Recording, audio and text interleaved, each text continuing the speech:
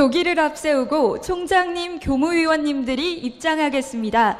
신입생 여러분과 학부모님께서는 모두 자리에서 일어나셔서 큰 박수로 환영해 주시기 바랍니다.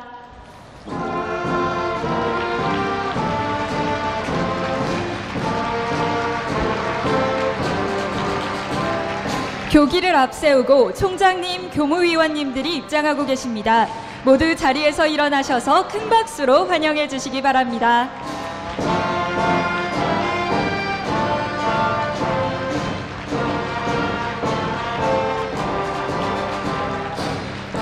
교기가 단상에 개항되고 총장님, 교무위원님들이 자리에 모두 앉으실 때까지 박수로 계속해서 환영해 주시기 바랍니다.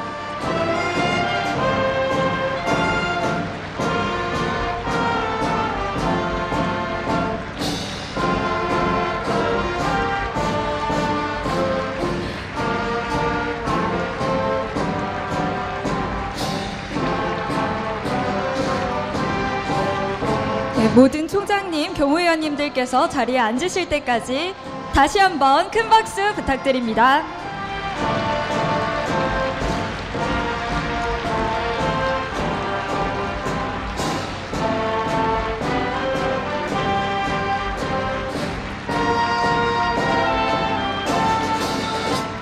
다시 한번 큰 박수 부탁드립니다. 모두 자리에 앉아주시기 바랍니다.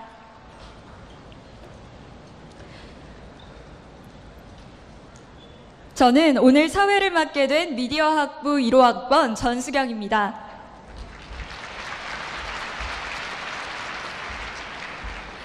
지금부터 고려대학교 2017학년도 신입생 입학식을 시작하겠습니다. 먼저 국민의례가 있겠습니다. 모두 일어나셔서 단상에 있는 국기를 향해 주시기 바랍니다.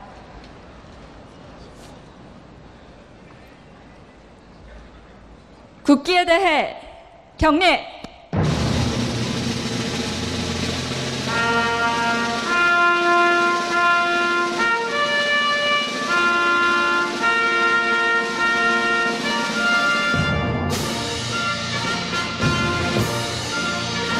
나는 자랑스러운 태극기 앞에 자유롭고 정의로운 대한민국의 무궁한 영광을 위하여 충성을 다할 것을 굳게 다짐합니다.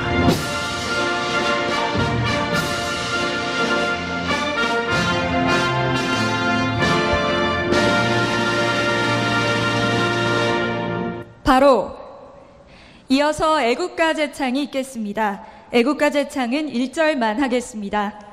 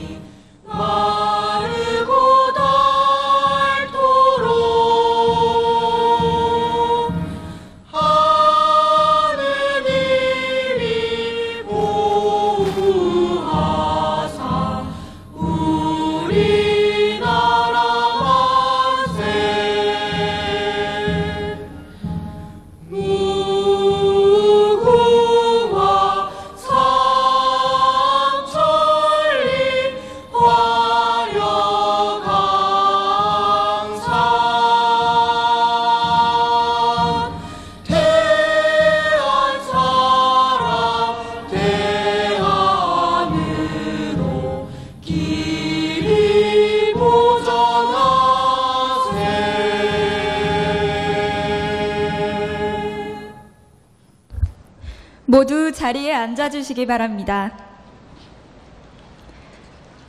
다음은 박만섭 교무처장께서 총장님을 비롯한 교무위원과 학장님들을 소개해 드리겠습니다. 한 분 한 분 소개될 때마다 큰 박수 부탁드립니다.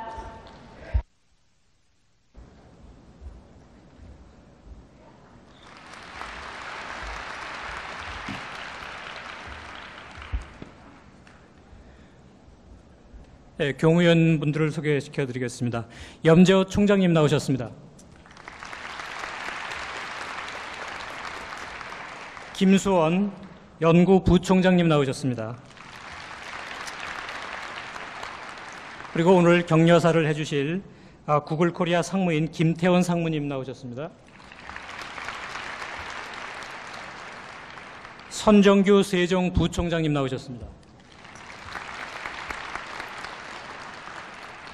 김효명 의무부총장님 나오셨습니다. 박길성 대학원장님 나오셨습니다. 김규환 법학 전문대학원장님 나오셨습니다. 이재훈 문과대학장님 나오셨습니다. 김희경 생명과학대학장님 나오셨습니다. 김균 정경대학장님 나오셨습니다. 윤성택 이과대학장님 참가하셨습니다. 정진택 공과대학장님 참석하셨습니다. 이홍식 의과대학장님 나오셨습니다. 고영진 사범대학장님 나오셨습니다. 이재학 학생처장님 나오셨네요. 아, 한금선 간호대학장님 나오셨습니다.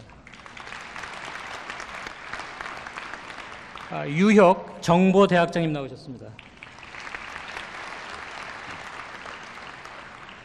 김인환 보건과학대학장님 나오셨습니다. 이흥식 과학기술대학장님 나오셨습니다. 이관영 그린스쿨 대학원장님 나오셨습니다. 김은기 국제대학원장님 나오셨습니다. 심재철 언론대학원장님 나오셨고요. 조대엽 노동대학원장님 나오셨습니다. 천병철 보건대학원장님 나오셨고요. 이상진 정보보호대학원장님 나오셨습니다.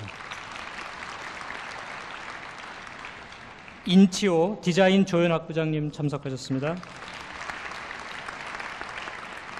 박세민 자유전공학 부장님 참석하셨습니다. 최동훈 미래전략실장님 참석하셨습니다. 김재욱 기획예산처장님 참석하셨고요. 이기성 총무처장님 참석하셨습니다. 주진수 관리처장님 참석하셨습니다. 유병현 대외협력처장님 참석하셨습니다. 이경호 정보전선처장님 참석하셨습니다. 임도선 연구처장님 참석하셨습니다.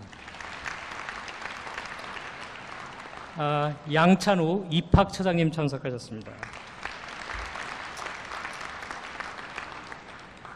어, 이쪽입니다. 서성규 기획처장님 참석하셨습니다.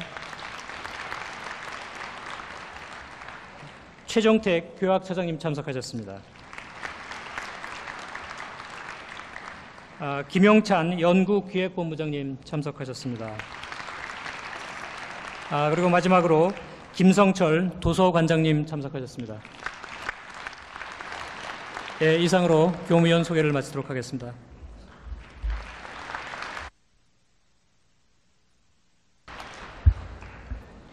네, 다음은 우수한 성적으로 입학한 장학생 현황입니다. 수상자는 아남 장 학생 8명, 크림슨 장 학생 26명, 단과대학 장 학생 1명, 신입생 우수 장 학생 56명입니다. 아남 장 학생으로 선발된 학생들은 다음과 같습니다. 생명과학대학 식품자원경제학과 김민지, 한유진, 의과대학 의예과 이용규, 정요무, 보건과학대학 보건정책관리학부 김은지, 장하윤, 미디어 학부 박소영, 안정민 이상 8명입니다. 다음은 총장님께서 장학생 대표에게 장학증서를 수여하겠습니다. 총장님께서는 단상에 자리해 주시기 바랍니다. 안암장 학생 대표 의과대학의예과 정용우 학생은 단상으로 올라와 주시기 바랍니다. 장학증서 의과대학의예과 정용우. 위 학생은 2017학년도 입학시험에서 그 성적이 우수하여 안암장학생으로 선정되었으므로 이 증서와 장학금을 수여함. 2017년 2월 28일 고려대학교 총장 염재호. 장학증서를 받은 학생이 내빈께 인사드릴 때 큰 박수 부탁드립니다. 이어서 사진 촬영이 있겠습니다.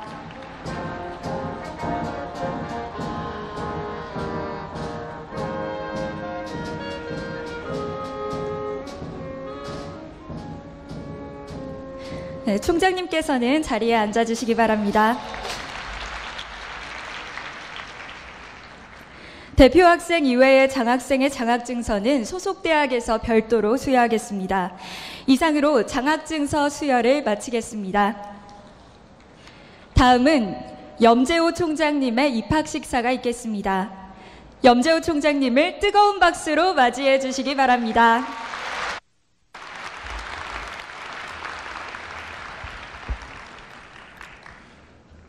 자랑스러운 고려대학교 신입생 여러분, 먼저 자유, 정의, 진리의 전당인 고려대학교에 입학하게 된 것을 진심으로 축하합니다. 고려대학교는 112년의 역사와 전통이 빛나는 민족의 대학이자 지난해 국내 사립대 최초로 세계 100대 대학에 진입한 최고의 글로벌 대학입니다. 여러분은 이제 자랑스러운 고려대학교의 가족으로서 평생 고대인의 자부심을 가지며 살아갈 것입니다.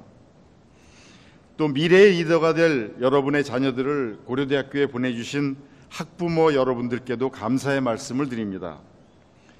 이제 고려대학교는 여러분의 자녀들이 먼저 미래를 열고 스스로 미래를 만들고 앞장서 미래를 달려갈 수 있도록 키워낼 것입니다. 다가올 미래의 어떤 도전과 어려움에도 자신들의 꿈을 향해 나아가는 지적 능력과 고매한 인격 그리고 개척 정신을 이곳에서 키워줄 것입니다. 사랑하는 신입생 여러분, 오랜 기간 고된 대학 입시를 끝내고 긴 터널을 지나온 해방감을 여러분은 지금 맛보고 있습니다.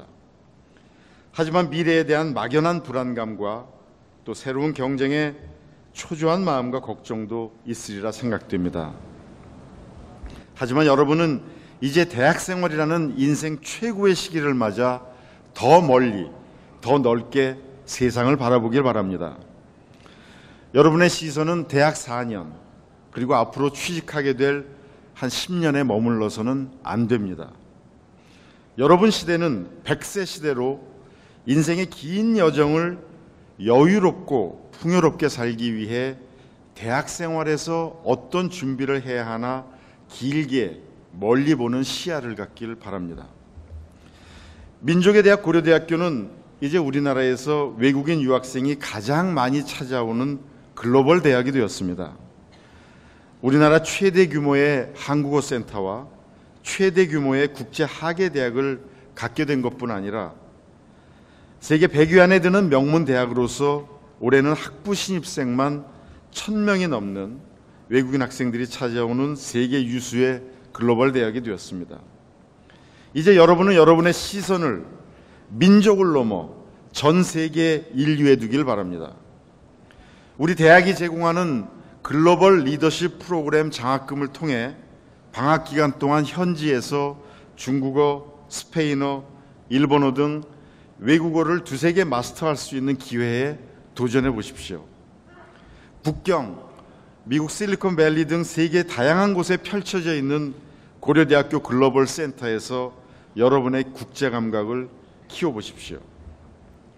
사랑하는 신입생과 학부모 여러분, 저는 지금 이 순간 앞으로 100년을 살게 될 우리 학생들을 어떻게 키울 것인가 라는 막중한 사명감으로 이 자리에 서 있습니다.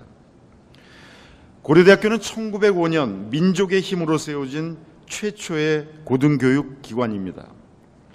당시 한학과 유학이 학문의 전부라고 생각하던 구한말, 미래를 내다보고 근대식 교육으로 법률학과 지금의 경영학과 경제학과 같은 이재학을 가르치는 고등교육기관으로서 풍전 등화와 같은 민족의 운명을 개척하고자 하였습니다.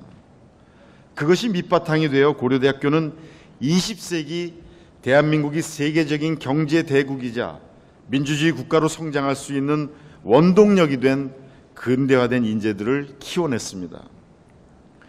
21세기에는 기존의 20세기 방식으로 풀 수 없는 문제들이 점점 늘어나고 있습니다.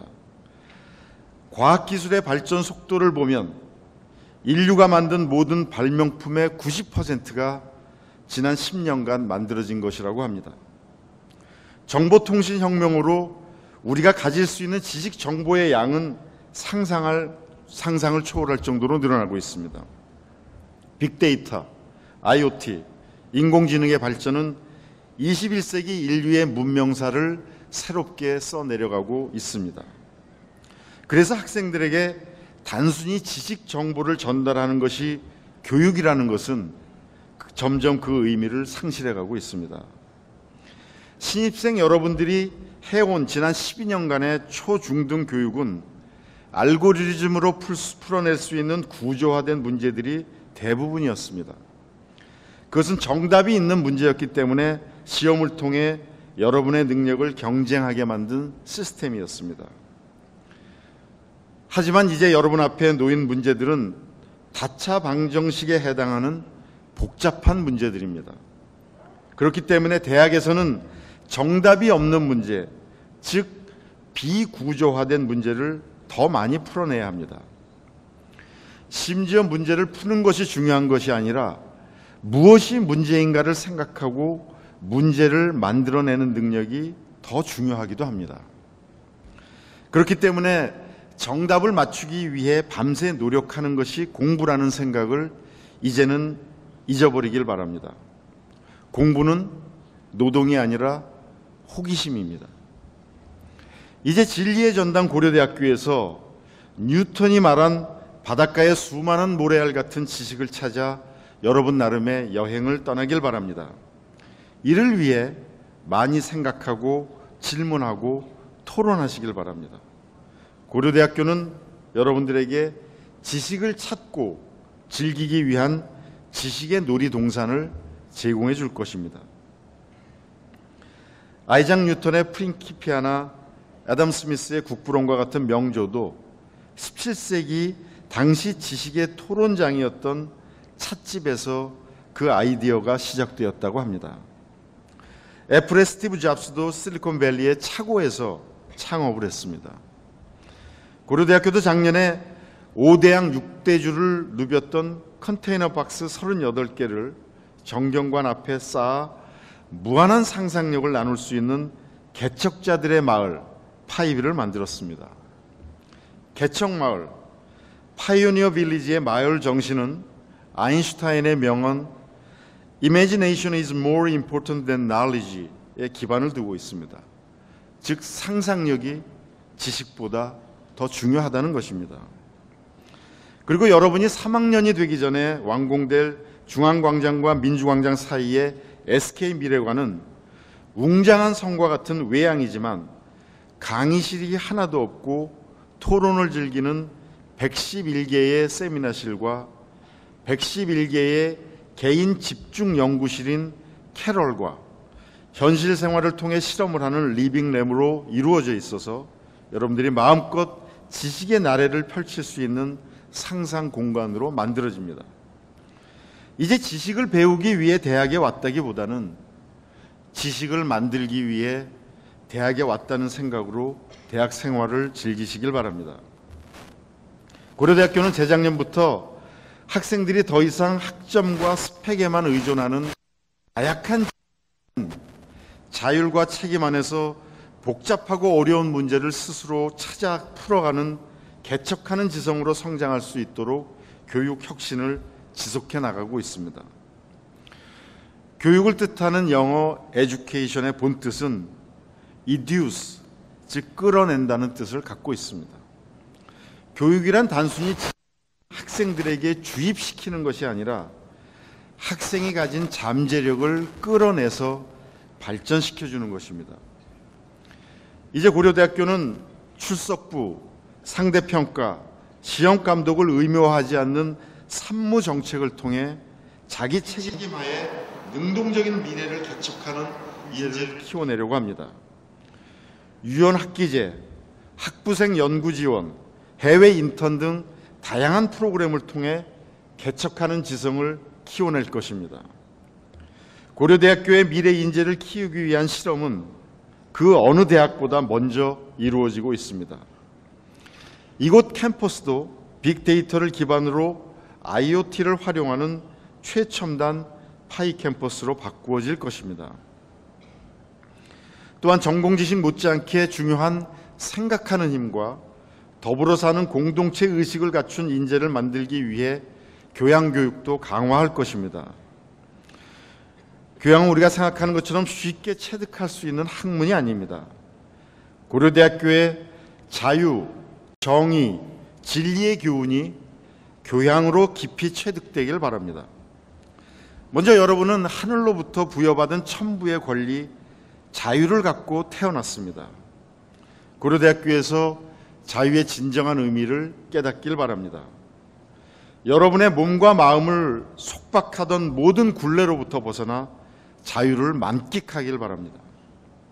하지만 자유론의 대가 존 스튜어트 밀이 이야기한 것처럼 자유는 상대방의 자유를 침해하지 않는 범위 내에서 절대적인 권리를 갖는다는 것도 잊지 말길 바랍니다.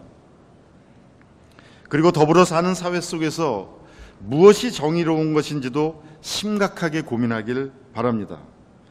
다른 사람을 먼저 생각하고 지식인으로서 여러분이 지금까지 받은 사랑을 이웃에게 나누어 주기 위한 노력을 게을리하지 말기 바랍니다.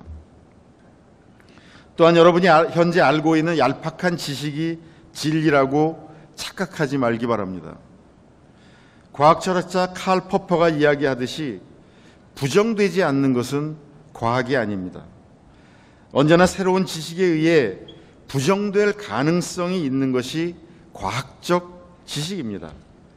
자신이 믿는 것이 진리가 아니라 부정될 수 있지만 현재 다수에 의해 인정되고 있는 것이 진리입니다. 무엇이 진리인지 많은 고민을 통해 진리를 탐구하는 여러분 되길 바랍니다. 이제 고려대학교는 여러분에게 무한한 가능성을 열어줄 것입니다. 대학 생활을 통해 신입생 여러분이 훌쩍 성장해서 졸업을 맞길 바랍니다. 이제 고대 가족이 된 신입생 여러분, 사회는 이제 여러분을 고대생이라는 시선으로 바라볼 것입니다. 그 자긍심에는 부러운 선망과 함께 그에 걸맞는 행동을 기대할 것입니다. 지성인답게 고대인으로서 인천 선생이 고려대학교를 이끌어온 공선 사후의 정신과 호랑이는 굶주려도 풀을 먹지 않는다는 당당하고 품격 있는 고대인이 되길 바랍니다. 이제 마음의 고향 고려대학교는 여러분과 영원히 함께할 것입니다. 민족의 희망이 되는 고대인으로서 전 세계 인류에 봉사하는 미래의 리더가 모두 되길 바랍니다. 여러분의 희망찬 대학 생활을 응원합니다. 감사합니다. 네, 새롭게 고려대학교 가족이 된 신입생 여러분을 향한 격려와 응원의 마음이 전해집니다. 다음은 김태원 구글 코리아 상무님의 격려사가 있겠습니다.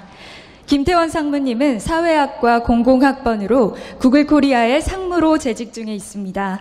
저서로는 생각을 선물하는 남자, 죽은 열정에게 보내는 젊은 구글러의 편지 등이 있고 2016 대한민국 디지털 브랜드 대상 개인 부분 수상, 대한민국 명강사로 선정됐습니다.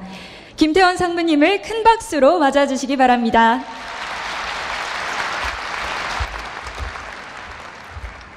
어, 네. 너무 행복한 날, 영광스러, 영광스러운 자리에 섰습니다. 우선 신입생 여러분 진심으로 축하드리고요. 그, 전 졸업한 지 벌써 10년이 됐는데요. 그, 사회 나오면 캠퍼스 생활이 너무 그립거든요. 특히 오늘처럼 날씨가 좋은 날에는 다시 학교에 가서 친구들도 만나고 싶고, 저기 참사리길에서 술도 한잔 하고 싶고요. 그리고 고연전에서 응원도 하고 싶다는 생각이 듭니다. 그래서 전 오늘 같은 날씨를 퇴사하고 싶은 날씨라고 말을 하거든요. 이게 어떤 기분인지 나중에 사회 나오면 여러분도 느낄 수 있을 거라고 생각합니다. 어, 제가 그렇게 그리던 캠퍼스를, 어, 게다가 이제 시작하시는 우리 신입생을 만날 수 있는 기회를 주신 덕분에 제가 부족하지만 이 자리에 서게 됐습니다. 그래서 염지호 총장님을 비롯한 고려대학교 관계자분들께 감사드리고요. 그 쉽지 않았을 과정을 거쳐서 이 자리에 함께 하신 우리 신입생 여러분, 진심으로 축하드립니다. 그리고 사실 무엇보다 그 가족이라는 이유로 우리 수험생의 집을 나눠주셨을 우리 부모님과 가족 친지 여러분께 진심으로 축하를 드리고 싶고요. 그 아마 초등학교 보냈을 때가 엊그제 같으셨을 텐데 벌써 이렇게 멋지게 성장해서 고려대학교 신입생이 된 모습을 보니까 정말 자랑스러우실 거라는 생각이 듭니다. 아마 여기 밑에 앉아있는 친구들이 신입생인 것 같은데 여러분을 위해서 고생하신 우리 가족, 친지, 부모님을 위해서 박수 한번 보내드릴까요?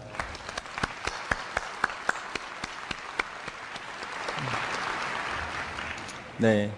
그, 저는 사실 재수 끝에 고려대학교 입학을 했습니다. 그래서 학교 교학과에서 합격증을 받았을 때 정말 집에까지 한 번도 안 쉬고 뛰어간 것 같아요. 너무 기분이 좋아서. 근데 그 합격증을 저희 아버지께 드렸는데 제 아버지께서는 그 합격증을 보자마자 찢어서 쓰레기통에 버리셨습니다. 그 왜냐하면 그 취업이 잘 안 된다고 알려진 그 사회학을 전공하겠다는 아들을 용서하실 수가 없으셨던 거죠. 어, 게다가 그때 당시에는 저희 경제 사정이 좀 어려워서 항상 지하방에 새들어 살아야 했던 삶이었기 때문에 지금 생각하면 그때 아버지 마음을 이해하지만 사실 그때 당시에는 너무 서러워서 그 찢어진 합격증에 다시 붙이려고 그 스카치 테이프라고 하죠. 그 붙이면서 한참 울었던 기억이 어, 아직도 생생한 것 같습니다. 어, 이렇게 시작한 대학교 생활이 사실 쉽지는 않았는데요. 우리 신입생 여러분, 미팅 기대되시죠? 네, 기대를 버리세요. 어, 기대를 가지면 여러분만 힘이 들게 됩니다. 아마 우리 후배님들 잘 모르시겠지만 그 가수 성시경 씨 아시죠? 네, 성시경 씨가 저와 사약과 공공학번 동기입니다. 그게 그렇게 신기한가요? 어, 근데 그 미팅에 나가면 여학생들이 저한테는 관심이 없고요. 성시경 씨 안부만 물어보시는 거예요. 근데 사실 저도 성시경 씨 안부가 궁금합니다. 왜냐하면 학교 다니면서 한 번도 대화할 수 있는 기회가 없었거든요. 그렇게 미팅도 쉽지가 않았고, 그 우연히 사학과 선배님들과 술자리를 하는 자리가 있었는데, 제 옆에 4학년, 그때는 뭐 대선배님으로 느껴지죠. 선배님이 계셔서 아주 들뜬 마음으로, 선배님, 사회학은 무엇을 배우는 곳인가요? 이렇게 여쭤봤더니 그 선배님께서 어, 사회학은 세상을 바꾸겠다는 생각으로 입학해서 세상은 바뀌지 않는다는 걸 깨닫고 졸업하는 곳이라고 하셨습니다. 예. 그때 기억이 그 아직도 생생한데요. 어, 그럼에도 불구하고 어, 저는 너무나 즐겁게 사회학을 공부를 했습니다. 그리고 대학을 졸업하고 지금까지 그 구글이라는 회사에서 일을 하고 있는데요. 여러분 네이버를 더 사랑하시죠? 어, 왜 그냥 웃기만 하세요? 그 작년에 구글의 알파고와 그 이세돌 씨의 대국 재밌게 보셨나요? 네, 그거 보시면서 솔직히 어떤 생각하셨죠? 이세돌 이겨라, 구글 망해라, 이렇게 생각하셨죠. 예. 아마 그 대국을 통해서 정말 많은 분들이 충격을 받으셨을 거라고 생각합니다. 왜냐하면 우리가 개념적으로만 혹은 영화 속으로만 봤던 인공지능이 우리 눈앞에 나타나서 인간보다 인간의 문제를 더 잘 해결하는 걸 보면서 사실은 많이 불편했을 거라는 생각이 드는데요. 하지만 지금도 어쩌면 그때보다 더 빠르게 세상이 변화하고 있는 것 같습니다. 우리 신입생들을 대학교에서는 새내기라고 부르는데요. 아마 우리 고려대학교에서는 막내겠죠. 그래서 여러분은 스스로가 신세대라고 생각하겠지만 저는 그렇지 않을 수도 있다고 생각합니다. 그 저한테는 6살 된 조카가 있거든요. 그 제 조카 인생에서 가장 느린 무선 인터넷 속도가 뭔지 아세요? LTE입니다. 여러분 시리즈 기억하시죠? 네, 꼰대입니다. 그그 옛날에는 나이를 기준으로 기성세대, 신세대 이렇게 구분했지만 이제는 변화하는 사람과 변화하지 않는 사람으로 구분이 되는 것 같습니다. 그래서 우리가 아무리 열심히 변화를 해도 세상이 변화 속도가 우리의 변화 속도보다 빠르게 되면 우리는 자연스럽게 과거가 되는 거겠죠. 음. 어, 이제 기술과 인문학의 융합이 혁신의 원동력이 되고 있습니다. 그래서 사회학을 전공한 제가 그 사회학적 상상력을 바탕으로 IT 기업에서 일을 할 수 있는 기회가 주어졌고요.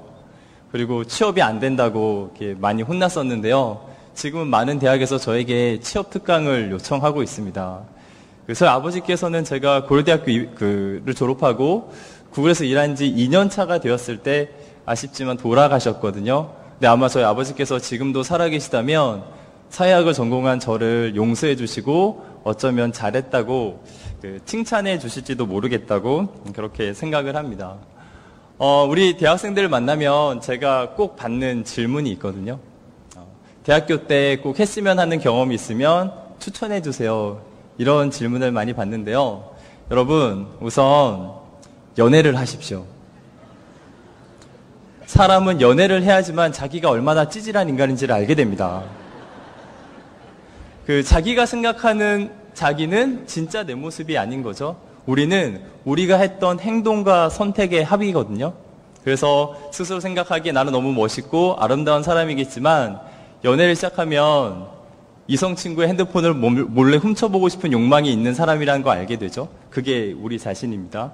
그리고 전화를 했는데 전화를 안 받아요. 그러면 의심을 하면서 연속으로 수십 통의 전화를 할 수 있는 사람이라는 거 알게 됩니다.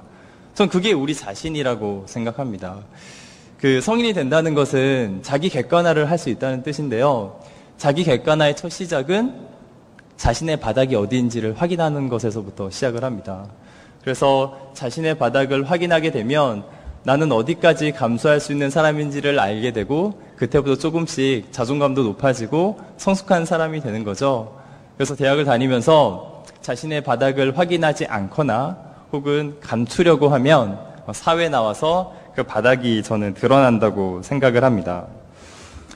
그 사- 가끔 그런 생각을 하거든요. 어, 대학교를 너무 돌아가고 싶은데 그럴 수가 없잖아요. 그래서 대학교 때 김태원과 지금의 김태원 중에 누가 더 나은 사람일까 이런 생각을 해볼 때가 있습니다. 근데 나이도 다르고 직업도 다르고 여러 가지 환경이 달라서 그 정확하게 비교하기는 어렵겠지만 어, 대학교 때 저보다 지금의 제가 한 가지는 더 나은 점이 있다고 생각합니다. 저는 예전보다 그 사람의 매력을 느끼는 능력이 더 발달한 것 같아요. 그 대학교를 다닐 때는 어떤 사람의 겉모습이나 화려함이나 여기에서만 매력을 느꼈었기 때문에 딱 그만큼의 매력을 느끼던 그런 학생이었습니다. 근데 사회에서 일을 하면서 어떤 사람의 의사결정이 매력적이라는 것도 알게 됐고 가치관이 있다는 게 정말 매력적이라는 것도 알게 됐고 그리고 자신의 이익을 포기하면서까지 다른 사람을 돕는 것이 얼마나 멋진 일인지도 알게 됐습니다. 그래서 그 사람의 매력을 느끼는 능력이 발달하다 보니까 제 주변에 정말 좋은 사람이 많이 있는 것 같은 거예요. 그래서 너무 후회가 됐습니다.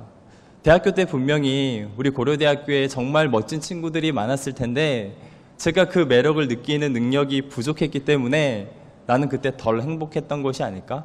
정말 좋은 사람들 다 떠나보냈던 것이 아닐까라는 후회를 정말 많이 하고 있습니다. 그래서 제가 대학교로 돌아가면 가장 먼저 하고 싶은 것은 불편한 사람을 만나는 능력을 키우는 겁니다. 음, 그리고 사람의 매력을 느끼는 능력을 키우는 거라고 저는 생각하고 있습니다. 어, 사람은 눈으로 보는 것 같지만 사실은 자기가 가진 관점으로 세상을 보죠. 얼마 전에 수험생이었을 텐데 수험생은 세상이 어떻게 보이죠? 수능에 도움이 되는 것과 되지 않는 것으로 보이죠. 그러다 대학에 가면 취업에 도움이 되는 것과 되지 않는 것으로 보일 것이고 여기 남학생들 나중에 군대 가면 세상에는 군인과 민간인밖에 없어요. 옷은 군복과 사복밖에 없습니다. 그 제일 친, 제, 저의 제일 친한 친구가 은행원이거든요.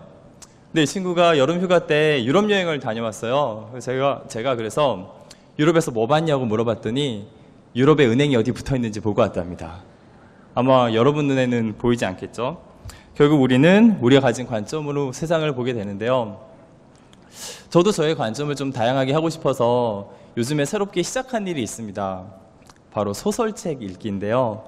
학교 다닐 때는 그래도 가끔 읽었던 것 같아요. 근데 사회 나오면 그 당장 도움이 되는 지식이 필요하기 때문에 소설책을 읽을 기회가 별로 없습니다. 그래서 처음 잡았던 책이 그 유명한 한강시의 채식주의자인데요. 아마 우리 학생들 중에서도 읽어보신 분들이 계실 거예요.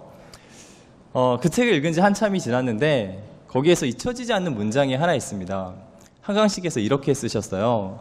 마치 서늘한 손이 내 이마를 짚어준 것 같았어 라고 쓰셨습니다. 전 이 문장이 너무 충격적이었어요. 그러니까 쉽게 설명을 드리면 태어나 오늘 너 기분이 어때? 어, 나는 지금 내가 아파서 누워있는데 우리 어머니께서 내 이마를 짚어주신 것 같은 기분이야 라고 답변하는 겁니다. 여러분, 우리 어렸을 때 아파서 누워있으면 어머니께서 이렇게 손을 이마를 짚어주시잖아요. 그러면 뭔가 왠지 낫는 것 같고 마음이 편안해지고 그런 경험들을 많이 했을 거라는 생각이 듭니다. 저도 물론 그런 경험이 있었는데요. 저에게는 그 경험이 그저 추억으로 남아있는데 어떻게 한강 씨에게는 이것이 문학이 될 수 있을까 곰곰이 생각을 하다가 아 나는 독자의 삶을 살고 있고 한강 씨는 소설가의 삶을 살고 있기 때문에 우리 주변의 많은 것들이 혹은 자신의 경험이 그냥 지나치지 않, 지나칠 수가 없는 그 무엇이 되지 않았을까라는 생각을 했습니다. 그래서 제가 이 책을 덮고 그래 나는 지금부터 소설가적 삶을 살아봐야지라고 생각했어요. 근데 이 생각을 하는 순간 놀라운 일이 벌어졌습니다. 바람은 절대 그냥 불지 않습니다. 그래서 제가 어머니와 함께 살고 있는데 그 저녁에 그 식사를 준비하시면서 이렇게 도마에서 팔을 딱딱딱 써시잖아요. 예전에 이 소리가 잘 들리지도 않았거든요. 요즘에는 그 소리에 메시지가 들어있는 것 같습니다. 야 이놈아 젊은 놈이 누워있냐? 이런 식으로. 예. 그래서 소설가적 삶을 살아볼까라는 생각을 했을 뿐인데 제 주변의 많은 것들이 제 삶 속에 온전히 들어오기 시작했던 거죠. 근데 그런 경험을 하고 나니까 중고등학교 때 그 언어 영역 점수 조금이라도 더 맞으려고 문제적 문제집을 풀던 그때 그 시간이 좀 후회가 됐어요. 그러니까 그 시간을 좀 줄이고 좀 어설프더라도 제 이름으로 된 소설책 한 권 써봤다면 내 인생은 더 달라지지 않았을까? 더 많은 것들이 내 삶 속에 들어와서 내 삶은 훨씬 더 풍성해지지 않았을까라는 생각을 했습니다. 근데 그때는 그 경쟁을 위한 경쟁에 집착하느라고 소설책을 써봐야겠다 생각 자체를 하지 못했던 것 같습니다. 어, 관점을 다양하게 할 수 있는 방법은 여러 가지가 있는데요. 어, 제가 가장 추천드리고 싶은 방법은 어, 불편한 사람을 만나는 능력을 키우는 거라고 생각합니다. 여러분 나중에 상위원이 되면 자기소개서를 쓸 텐데요. 대부분의 학생들은 이렇게 씁니다. 저는 사람 만나는 걸 좋아합니다. 근데 왜 그렇게 쓰는지 아세요? 자기가 좋아하는 사람만 만나면서 살았거든요. 그러니까 아무리 생각해도 자기는 너무 사람 만나는 걸 좋아하는 거예요. 하지만 사회에서는 불편한 사람을 만난 능력이 뛰어난 사람이 오히려 더 성공하는 곳인 것 같습니다. 벌써 졸업한 지가 10년이 돼서 제가 배웠던 뭐 사회학 이론이나 학자 이름 사실 거의 생각이 나지 않지만 어, 경험도 부족하고 지식도 부족했던 그 학생들이 강의실에서 자기의 주장과 생각을 자유롭게 토론하던 그때 그 강의실이 너무 그립습니다. 지금은 그때보다 사실 남의 눈치도 많이 보고 그 자기 검열도 많이 하는 그런 비겁한 사람이 됐지만 저는 그때 그 토론을 하면서 세상에 저와 생각이 다른 사람이 이렇게 많은지 처음으로 알게 됐습니다. 그 더 놀라운 건 놀라운 것은 제 의견에 반대를 하거나 저와 생각이 다른 사람을 통해서 제가 더 많이 성장할 수 있다는 것을 알게 됐습니다. 그래서 스마트폰이 아니라 그 사람의 매력을 느끼기 위해서 불편한 사람을 만나는 능력을 키우게 되면 여러분의 관점이 훨씬 더 자유로워질 수 있을 거라고 어, 생각하고 있습니다. 그 사회 나오면 거의 대부분 팀으로 일을 하게 되거든요. 그 졸업하기 전까지는 보통 개인의 경쟁을 많이 하잖아요. 근데 경쟁의 관점에서 보면 나와 관점이 다른 사람을 보면 되게 불편하고 거부감이 있는데 어, 배움의 관점, 성장의 관점에서 보면 어, 나와 다른 관점을 가진 사람을 만나면 그렇게 반가울 수가 없어요. 그리고 그 속에서 행복을 느낄 수도 있을 것 같습니다. 어, 저는 일반고를 나왔는데요. 제가 예전에 과학고에 강의를 갔다가 충격을 받았어요. 아마 이 자리에도 과학고 출신 학생들이 있을 것 같은데 수학여행을 미국의 실리콘밸리나 유럽에 있는 그런 세계적인 연구소로 간다는 거예요. 그래서 이 얘기를 듣고 아, 이 이야기를 일반고 학생들이 들으면 불공평하다고 생각하지 않을까요? 라고 했더니 어느 과학고 학생이 뭐 자기도 과학고 오면 되죠 라고 이렇게 답변을 했습니다. 음, 그 학생들에게 우리 사회가 기회를 주는 것은 그들이 경쟁에서 승리했기 때문에 주는 보상인가요? 저는 그렇게 생각하지 않습니다. 더 넓은 세상을 보고 더 큰 사람이 되어서 우리 사회에 더 크게 돌려주라는 투자라고 생각을 합니다. 이제 여러분은 고려대학교 학생이라는 이유로 앞으로 많은 기회를 얻게 될 것이고 그리고 특히 많은 사람들로부터 호의적인 시선을 받을 확률이 높거든요. 그래서 여러분이 경쟁에서 이긴 전리품이 아닙니다. 여러분이 얻은 지위가 아니고 우리가 나중에 더 크게 이 사회에 돌려줘야 될 부채라는 생각을 꼭 잊지 않았으면 좋겠다는 생각이 듭니다. 어, 혹시 여러분 나는 가수다라는 프로그램 보셨어요? 네, 전 정말 너무 재밌게 봤는데요. 저는 이 프로그램을 보면서 잊혀지지 않는 의문이 하나 있었습니다. 제목이 나는 가수다. 되게 밋밋하잖아요. 이 제목이 너무 감동적인 거예요. 어떻게 이 밋밋한 나는 가수다라는 제목이 이렇게 감동적일까 곰곰이 생각을 해봤고 최근에 그 답을 얻을 수가 있었습니다. 나는 가수다라는 제목이 감동적이었던 이유는 아, 훌륭한 명사에는 형용사가 필요 없기 때문입니다. 훌륭, 그 명사가 훌륭하면 어, 더 이상의 형용사가 필요가 없는데요. 명사가 훌륭하지 않으면 그 명사를 훌륭하게 보이게끔 하는 수많은 형용사가 덕지덕지 필요하다고 생각합니다. 요즘 우리가 겪고 있는 우리 사회의 많은 혼란들이나 특히 우리 청년들 보기에 부끄러운 이런 많은 모습들이 결국 우리 사회의 명사가 훌륭한 사람들이 부족하기 때문이라고 생각하거든요. 그래서 앞으로 여러분이 어떤 일을 하게 되고 어떤 삶의 궤적을 걸을지는 모르겠지만 고려대학교 출신이라는 형용사가 없이도 빛날 수 있는 그런 명사가 됐으면 좋겠습니다. 그런 형용사가 필요 없는 명사가 됐을 때 우리 사회는 더 행복해질 수 있고요. 그것이 사실 고려대학교를 더 빛나게 하는 방법이라고 생각합니다. 그 자기가 언제 행복한지 아는 사람이 가장 행복하게 사는 것 같아요. 고려대학교에서 캠퍼스 생활 즐기시고요. 자기가 언제 행복한지 아는 사람이 되길 바랍니다. 입학 축하드립니다. 감사합니다.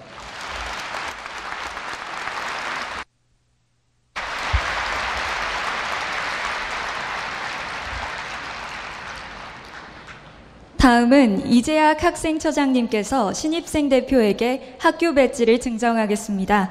학생처장님께서는 단상에 자리해 주시기 바랍니다. 대표 보건과학대학 보건정책관리학부 김은지 학생은 단상으로 올라와 주시기 바랍니다.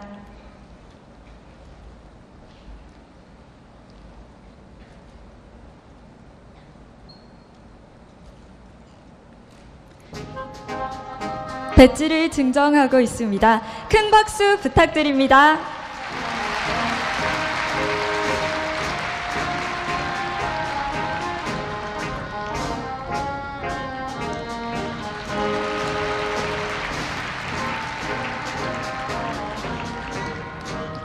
네, 학생처장님께서는 자리에 앉아주시기 바랍니다. 이제 여러분은 고려대학교의 자랑스러운 구성원이 되었습니다.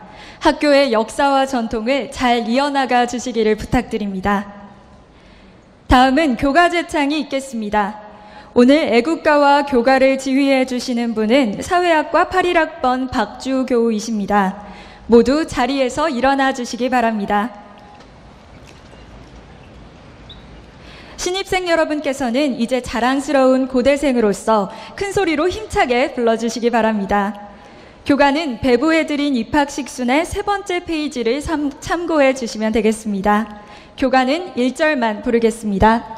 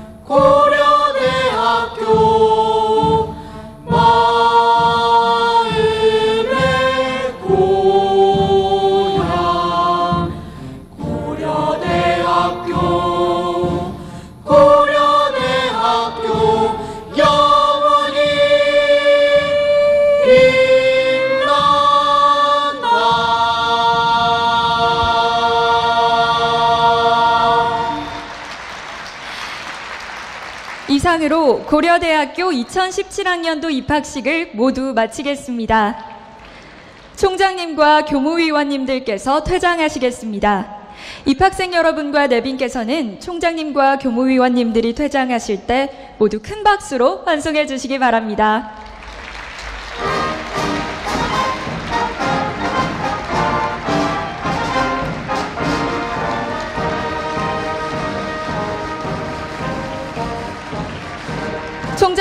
교무위원님들이 퇴장하고 계십니다. 모두 큰 박수로 환송해 주시기 바랍니다.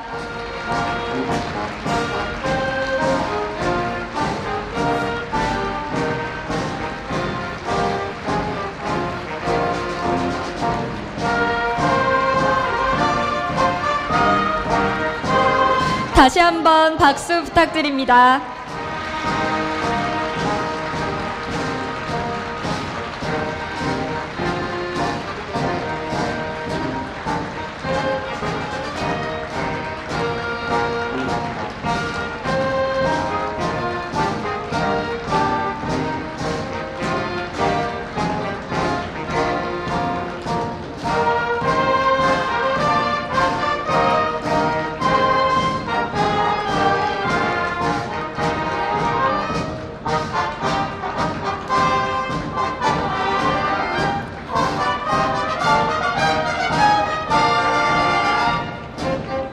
여러분은 인생의 푸르른 계절이 시작됐습니다. 우리 고려대학교에서 마음껏 공부하고 마음껏 놀고 마음껏 즐기시길 바랍니다. 신입생 여러분의 아름다운 시작을 다시 한번 축복합니다.